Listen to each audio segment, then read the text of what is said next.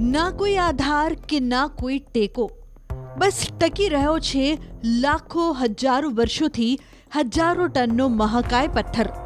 સમય સમય પર પ્રકૃતિ કરિશ્મા બતાવી પોતાનો અહેસાસ માનવજાતિને કરાવતી રહે છે, જેમાં એક અનોખો કરિશ્મા લોકોના આશ્ચર્ય સાથે કોયડો બનીને રહી ગયો છે.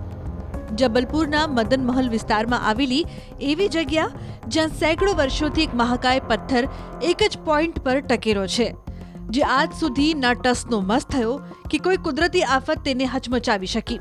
આ જગ્યા પૂરા વિશ્વમાં બેલેન્સિંગ રોક અથવા તો હેંગિંગ રોકના નામથી પ્રસિદ્ધ છે. કુદરતનો આ કરિશ્મા હજુ પણ વૈજ્ઞાનિકો માટે વણ ઉકેલ્યો કોયડો બનીને રહી ગયો છે. આ મહાકાય પથ્થર બેલેન્સિંગ રોક કે હેંગિંગ રોક મદન મહલની આ પહાડીઓ પર કેટલાય હજારો વર્ષોથી સ્થિત છે. કહેવાય છે કે કેટલાય હજારો અને લાખો વર્ષો પહેલા જ્વાળામુખીના કેટલાય વિસ્ફોટના કારણે આ પથ્થર બન્યો છે. જેણે હવા અને પાણીની સહાયતાથી કેટલાય વર્ષોમાં આકાર લઈ લીધો અને નામ માત્ર આધાર પર સંતુલિત અડીખમ ઊભો છે. વર્ષ ઓગણીસો સત્તાણુંમાં જબલપુરમાં પાંચ પોઈન્ટ આઠની તીવ્રતાનો જ્યારે ભૂકંપ આવ્યો, ત્યારે એક ઇંચ પણ પથ્થર નથી હટ્યો. આ સંતુલન કેવી રીતે બનેલું છે, તે કોઈ નથી જાણતું. તેનું રહસ્ય જાણવા કેટલાય વૈજ્ઞાનિકો અને લોકોએ પ્રયત્નો કર્યા. પરંતુ કુદરતના આ કરિશ્મા આગળ સાયન્સ અને મશીન બંનેએ હાથ અદ્ધર કરી દીધા. કેટલાય વર્ષોથી એક જ સ્પોટ પર ઉભેલો આ પથ્થર જગતમાં બેલેન્સિંગ રોકના નામથી વિખ્યાત છે. કહેવાય છે કે આ મહાકાય પથ્થર ગોંડવાના કાળના જમાનાથી સ્થિત છે. એટલે કે કેટલાય વર્ષોથી આ પથ્થર અહીં સ્થિત છે. જેની પાછળનું વિજ્ઞાન જાણવાના કેટલાય પ્રયત્નો થયા, પરંતુ કોઈ ઠોસ અને ચોક્કસ કારણ સામે નથી આવ્યું.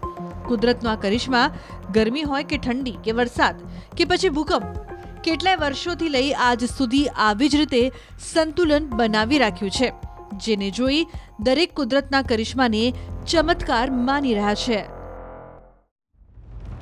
ના કોઈ આધાર કે ના કોઈ ટેકો. બસ ટકી રહ્યો છે લાખો હજારો વર્ષોથી હજારો ટનનો મહાકાય પથ્થર.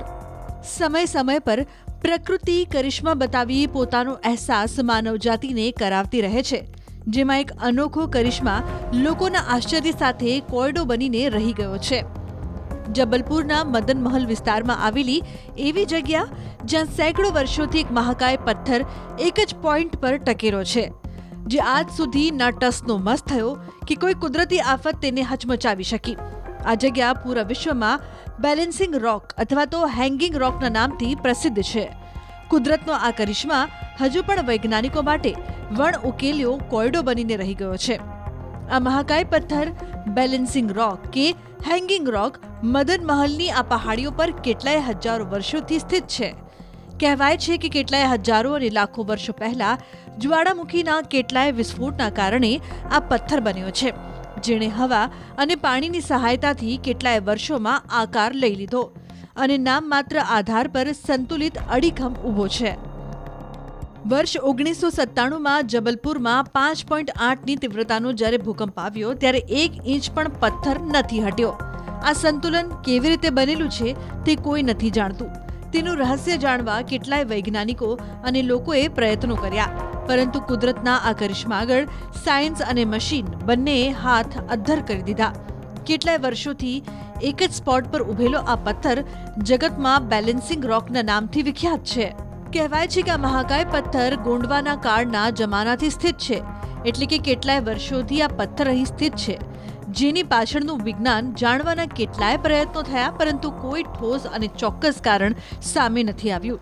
કુદરતનો આ કરિશ્મા ગરમી હોય કે ઠંડી કે વરસાદ કે પછી ભૂકંપ, કેટલાય વર્ષોથી લઈ આજ સુધી આવી જ રીતે સંતુલન બનાવી રાખ્યું છે, જેને જોઈ દરેક કુદરતના કરિશ્માને ચમત્કાર માની રહ્યા છે.